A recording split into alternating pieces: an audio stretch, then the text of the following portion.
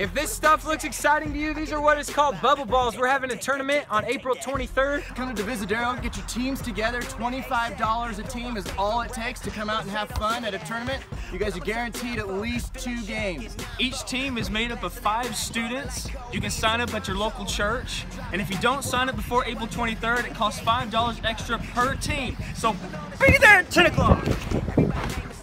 VJs trying to say my name is Minio. Say it with me, Minio. Okay, great. Two forks high, raise stakes. Risk it all, I take the hate. This the winning team. Get the Gatorade. My guy good, but he's not safe. Nah.